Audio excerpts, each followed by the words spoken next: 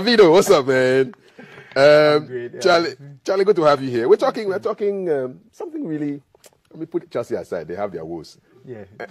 but people are losing money because of some online instant loan apps. Yeah. There's some scam going around, and yeah. I really want you to, to go into this. And maybe we'll even talk to somebody who was a victim. Yeah. Hey, let's talk about it. Yeah. All right. So we're talking about online instant loan apps, right? Mm-hmm. Uh, how they're operating. Uh, we are looking at the unregulated ones. Uh, uh, the activities are affecting others. Mm-hmm. So then we need to talk about it. Mm-hmm. Now, the point here is that we have to accept or understand how those apps work. Okay. And now, so if you need money this morning, you go online to look for. So, like when I go to uh, my Play Store here, mm-hmm. right? I can just glance through. I just type instant loan apps, right? Mm-hmm. So in Ghana only. In Ghana only. I would just want to. So here they have a lot. You know, we have a lot here. Now, when I have downloaded these files or this app, right? Mm-hmm. So like this one. Now, there are something that I want us to pay attention to. So we are giving out one personal mm. info, mm. right? Mm. So the issue here is that when you download that app, you have giving this app the permission to access one, your contact, your email, and all other things on your mobile phone or your device. Now, the point here I see this as a big threat to us is you see, Calf, uh, when you default based on their actions and other things, when you default, they send um, messages to your family or the contact you have on WhatsApp, and they sometimes declare you wanted Hey. And they tell you that you are a professional scammer. Now, the point When is, you default, yes. They so, will send messages to my people. Yes, there's a story we did. That Tell them I'm, I'm, wanted. You are wanted. They declare hey. you wanted. They declare. On they which declare, power? I don't know. So they said that you are wanted and also wow. you, are, you, are, a professional scammer. Hey. And this is being shared across on all your numbers, right? Now the point here is that Calf, these people is a threat to us. Now, let me calm down for people to understand this. Now, you see, when I'm using my device, probably I have Calf's personal detail mm-hmm. or personal number. Mm-hmm. Now, when I default, right now, even when I download the app in the first time, mm-hmm. you are able to access my contact. You are harvesting credentials. So you are talking about credential harvesting here. Now, if Calf, I have Calf's personal number on my phone, that means the company have your number now. Now, so if you're honorable, you're MP minister watching me, and maybe one way or the other in your constituency, people have your number, and something happened to those people, they download this app, mm. definitely these people are getting your number. So it's an issue that I think that we should all talk about it. It's not just about the person going for the loan. But now, because they are harvesting credentials, and when I download the app, install the app on my device, they get access to my phone, my phone book, and I have your number there. So if then they are harvesting your number, they have your number. Mm. So we are talking about privacy. Data privacy comes in here. Now, if they have your number, what happens next? If you default, sometimes, you know, after even, let's say you are finished paying and you're off the platform, what is the guarantee that these details that they have about you has been deleted? So the first place, when you download them, these details are stacked on their service. They have everything about you, most of the information. So let's go to the third app now. Let's look at this app. I didn't even know that there were there were apps giving money to people. Yeah, they are. How, how much can they give and you? Sometimes maximum amount. Maybe thousand. Okay. Some even that thousand you have to is accumulated. So they start sometimes with 100 cedis, 200 cedis. How long do you have to pay back? Uh, sometimes a week. Okay. Sometimes a month. What's the interest rate like? Uh, maybe thousand is like 50 cedis a week, mm-hmm. right? And now when you default, and let's say this week I'm supposed to pay the thousand cedis now, and I'm not able to pay. I have the right, or they have given me a privilege to do something we call uh, defer. I can defer 300 cedis. That is with the app that I know. You can defer 300 cedis. So that means that every week, if you defer, you are paying 300 cedis on top of your thousand. So you can get into debt very quickly. Yes, you see. So and people are not paying attention to it. So this app that we are talking about, these there are lots of them, and I will tell you. Uh, so this one is the Loan Pro Digital, right? So let's look at it.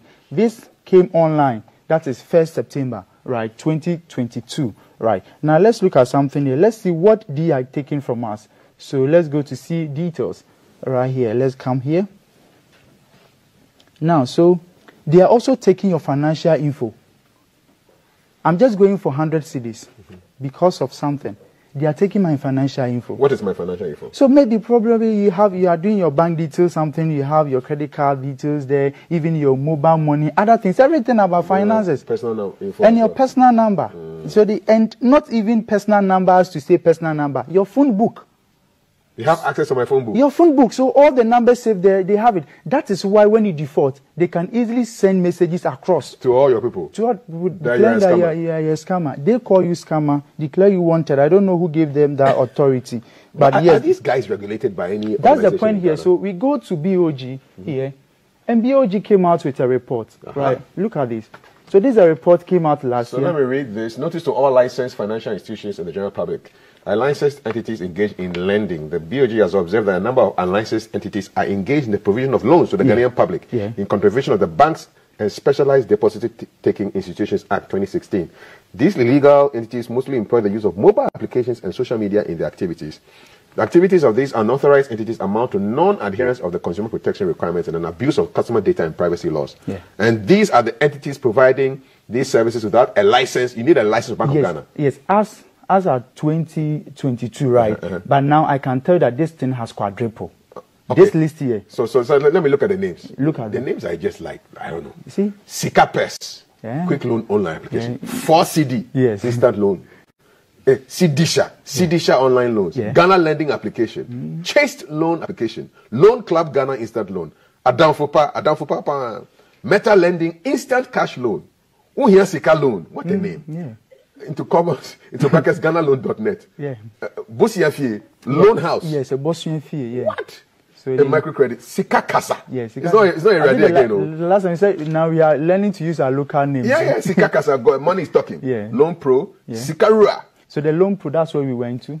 These things sound like nicknames, man. Beji Busia. Beji Busia, yeah. to go to where Eh. Lending Papa. Lending Papa. Yeah, yeah. So he's a, he's a, he's a papa It's a papa of yeah. lending. Yeah. Crest Cash, Credexter, Mobile Loan, CD Now. Bank of Ghana is taking steps to take action against these entities and hereby advises the general public to desist from doing business with all unlicensed loan providers. Uh, and so this is where you can visit visit BOG's website Yeah. for the approved list of licensed institutions.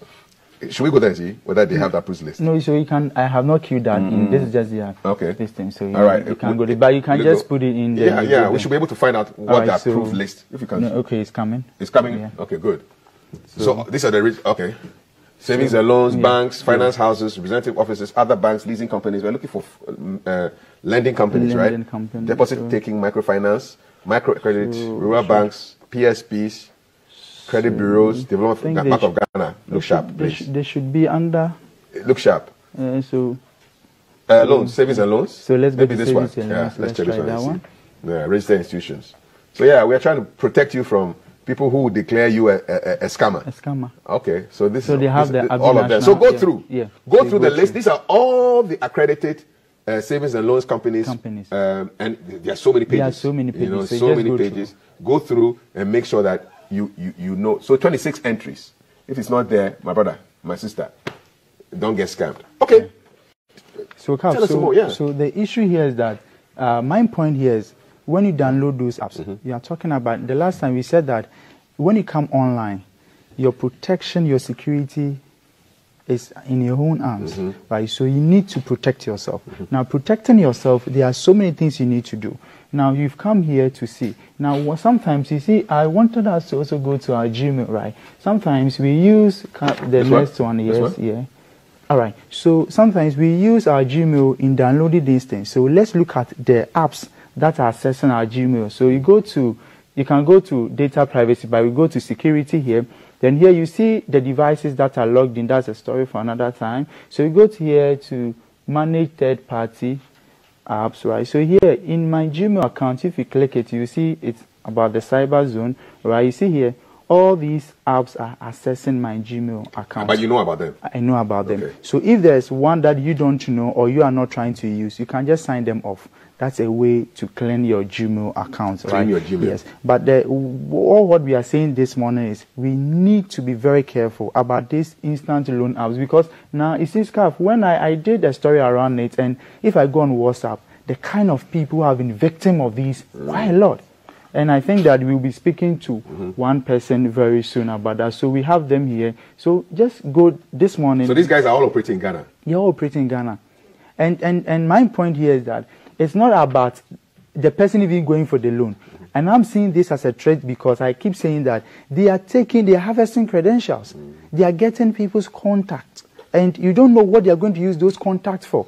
You see, now when I have your number, there are so many info I can get about the number. I can just do a simple mobile OSINT and I can get a lot of info. So we are saying that quickly, These people were on the list, the Bank of Ghana list, so 4 CD. uh, they are here.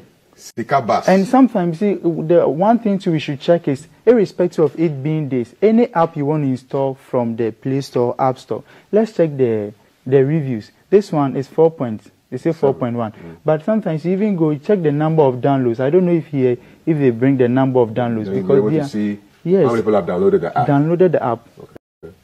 Go you check to see. Wow. I didn't even know that there were companies like this who. Ah, downloads. Is there? Yeah, 100,000 plus downloads. Mo- most of them are forged. Okay, so you can actually change the information. Mm-hmm. So Update, hack, updated on the sem- 19th September. Does it show you when the app even came into effect? No, that one Okay, unless so let's look at the reviews. on. Let's look at the reviews. Oh, sometimes these reviews, sometimes they just uh, Mm-hmm. they just contract people to to write them. Okay, it's a whole business. Yeah, All right. it's a whole okay. business on its own, right? And sometimes what we have to also do is you go to their website. There's one I went to their website, so sometimes you even check their website, right? If there are any space or any chance of getting their office location, in case something happens, you should be able to go and report. Is this one supposed to be operating in Ghana? No, because they are not regulated. These are uh, part of the and This is not a Ghana number. This Yeah. is a 1 800 number. So, So, so, like, if, so if you go on the uh, Play Store here, there's a space that you can see their website. Mm-hmm. Uh, the app, you see their website, then you quickly just go to their website to see, or you can just pick up the name of the app you are downloading. And Google it, right? And you Google it, right? So there's one I did here, and there's the info I had on there. 1 800 538 287. So if something happened to you, there's no chance of what getting them. These things are all foreigners, but they are here with us and they are scamming people. Not, I wouldn't say scamming though, but they are operating and they are not regulated. So whatever they do, they do to really affect you and me. So we have to be very careful about that, cover. Great. You are watching GTV Breakfast, and we're looking at online instant loan apps scams. And you say a lot of people have been affected. I didn't even, didn't even know that there was there were companies Yeah, like this. yeah. yeah. And, and if today open a phone line, there are so many people who have been victim of this. I saw one in the list of the various apps. One of them who said they can give you up to fifty thousand cedis. Yeah, it's a build up, and I don't. It's I a don't- build-up, eh? Yeah, I don't even know if that's true. you know, they give out those small, small amounts of money, and Yeah. they take your privacy from you. And I'm saying that it's, it's, it's an attempt to do something. They are harvesting information. So the main aim is not even the money they're giving you, but no, to take your information yes. to go and do other stuff with. Yes, they get your info. It becomes now data is very uh, key to them. Mm-hmm. Now, if they have it, if I'm able to compromise Carve your phone, or maybe someone gone for a loan and I've been able to get his contact. You know the number of contact I have. Maybe I've got almost around 200. Okay. That 200, out of that, I also get another person, right? then you're So, adding up. yeah, adding up. Like, Let's go to the lines and speak to a, a victim of these uh, online instant loan app scams. Good morning. Hello, good morning. You are welcome to GTV Breakfast. Many thanks. Please tell us your story about these online instant loan apps. Um, actually, I, I took a loan from uh, one of the apps called Free Cash, Okay. and under that app we have uh. So, uh, as it is, you take it in bits, then it accumulates. What was your first amount? to- What, what was the first amount you took? The first amount I took was uh, 150 cedis Okay. And, and how long did it take for you to pay back? uh, in a period of one week. Okay. So you pay back through Momo, is that correct? Yes, please. So after the 150, then how much did you take again? Um, they'll add 50 cedis. Oh, they asked you to take more. Yes, sometimes they'll give you an extra of hun- uh, 880 Ghana. Okay. Yes. So after it's an accumulated stuff, so it's like the more you keep taking, the higher the amount becomes. Mm-hmm. So it's rounded up to about a thousand cedis. Okay. So um, the day, the due day, they don't give you due time. They just tell you your due day is maybe the seventh of a month or mm-hmm. the week, mm-hmm. a particular day. Then when it's time, they will call you and give you a reminder that you are paying on that very day. Okay. So then uh, you have to prepare and then pay off. And if you want to still assess again, then you go ahead. Mm-hmm. So a lady called me and said, I have to pay that very moment she's calling me. And I said, no, I have a due date, so you should just give me space to organize myself. Then I said, I have a right to defer my loan, which is to the disadvantage of whoever is taking it because when you defer, they will take the interest on the money. Mm-hmm. Then the real money is still standing. So the moment you defer, the following week you still have to pay the actual amount with the interest. Mm-hmm. So imagine that I'm paying thousand cedis and I've deferred. Then that means I'm paying three hundred. The thousand is still holding for the next one week. So it was there that the lady said, if I, sh- I, I don't pay immediately, she's going to spread my details on social media. I said, no, you wouldn't do that because I've not defaulted. So I was there, and then someone called me and said, uh, where are you? Someone, they are looking for you. And I said, who? Then she sent the thing through my WhatsApp saying that, uh, notice, notice, notice, general public, beware of this lady. Wow. She's a professional scammer. Ooh. And actually went to a number of contacts. And they were all calling me. So they had access. They had access to your contacts. Yeah, that's. Yes. You So you, you gave them access. Asked me, why do you give my number to this? person? I said, no. It is during their assessment of the loan that they have access to my contact. Some of them they didn't understand, but some did. So this is my experience. It was very bad. Normally they go to your contact, see your pastor, if you have an assembly member's number, an MP's number. I mean, people who are very key people that you have their contact, they go and then when they see they are busy online, then they send it. How So many- After I deferred, Uh huh. After he you went back and pulled down all those messages. Mm-hmm. So my contact couldn't see what they sent to them some few minutes before I deferred. How many people? How many people got through to you to, to, to find out what was going on? There were others that didn't say anything at that moment, but at the, at the time that they did the thing, over 15 people to 20 people called me. Okay. And it was later that some people called me and said, oh, we, we know them, so we decided not to call you. What did you Because we know who you are, so we know definitely you wouldn't be a scammer. Are you still in? A, are you still in a relationship with this company? Hey, no. So so how did you how did you get out of the relationship? Uh, a gentleman uh, called DK Cyber, he came to me. Actually, a friend of his saw it, who is my friend, mm-hmm. and then told him. So he came to me and then he asked me of my side of the story, which I narrated. So his company is a, a Cyber Zone, Ghana. Yes, we know them. So he came to me, granted some few interviews with mm-hmm. me. Mm-hmm. Then later on, he brought me a check to pay them off, a, a cash of thousands to pay them off, which I did. And so So, so I really want to thank um, GS Cyber for Cyber. a good job that he is doing. okay. Have you re- have you reported this guy to the police or he Bank of actually gave Ghana? me a contact that I should call uh, an officer at the police headquarters, which I tried, but the person the person didn't uh, respond. So I'm here to call the person today, Okay. and if possible today or somewhere Monday next week, I'll go see him and write my statement. What's the name of the of the app that you used?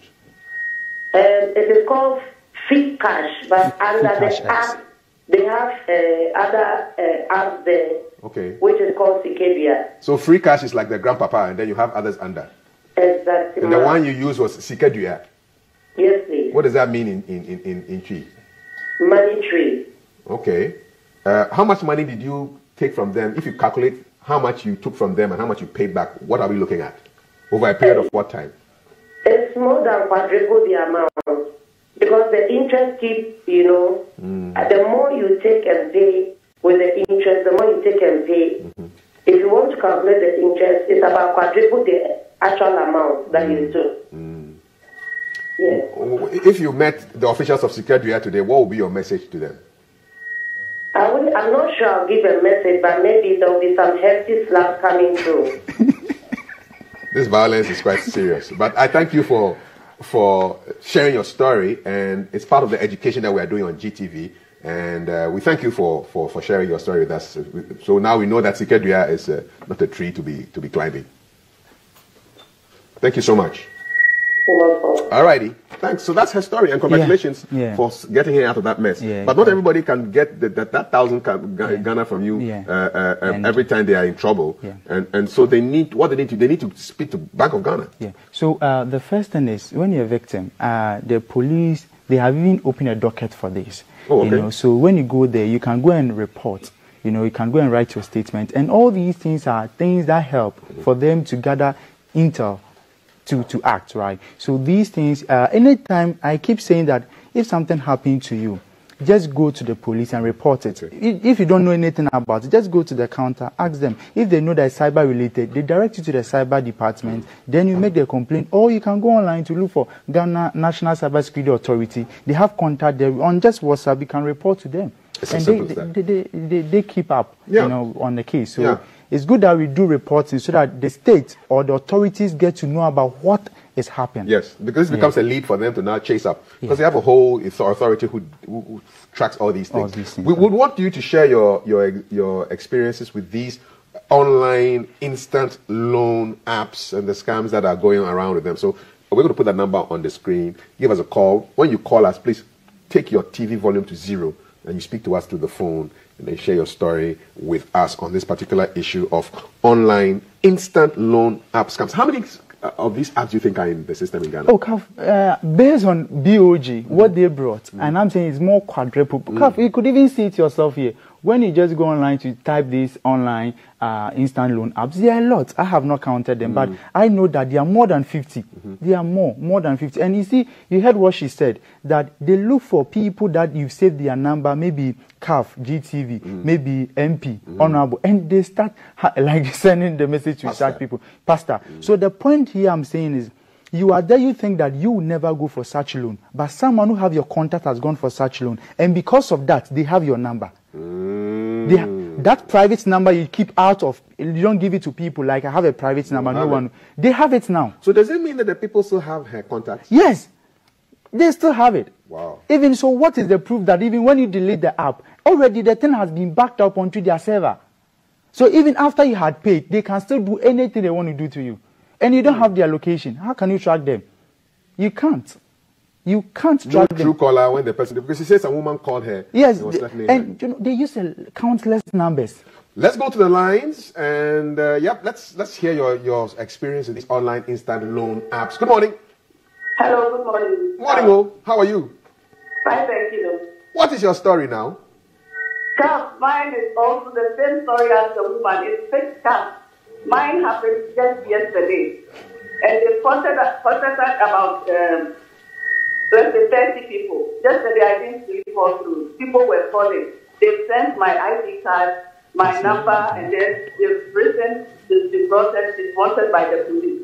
So Oh. this morning, I'm trying to go to the police headquarters to go and report them because when you, you take a loan of uh, thousand uh, Ghana, they will ask you to pay uh, 300 Ghana to you. That is if you are not uh, ready to pay. Because mine was due yesterday. And then I told them I was gathering money because I used it to do uh, cooking. So I told them they should hold on and then I'll try and do the deferred payment.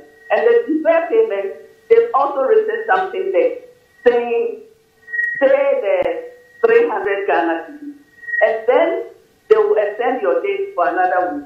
After extending it, when you are coming to pay for the 1,000 Ghana, that 300 will be deducted from the 1,000, which means you are going to pay 400. But when it's time for you to pay the 700, they will still insist that you pay the 1,000 Ghana. And I've done this thing for more than uh, four months. Mm. Yes. How much? I, I spoke to a lawyer, and Okay. then the lawyer told me I shouldn't pay the 300. So yesterday I was arguing with her. I said I'm, I was not going to pay the 300. Hmm. I'll organize the 1,000 and pay, pay them. And then they said they were going to publish it. I was home, and then people started calling, sending whatever, my ID card, every picture of my Ooh. on the people have been calling this morning to say, you know, Wow. ready to go to the, for them to go and do that report. What's the name of the company again th- who's doing this stuff? Same It's Fish fixed Cash. cash. Fish Cash. Fix ca- fix cash. Fish Cash X. Okay, all right. Okay, thank you so much for sharing the story. Please report these people. Report them for me. Thank you. Hmm, wow, things are happening in this town. Another caller on the line. Good morning. Welcome to GTV Breakfast. Okay, we'll take a quick break. We'll be right back. Don't go anywhere.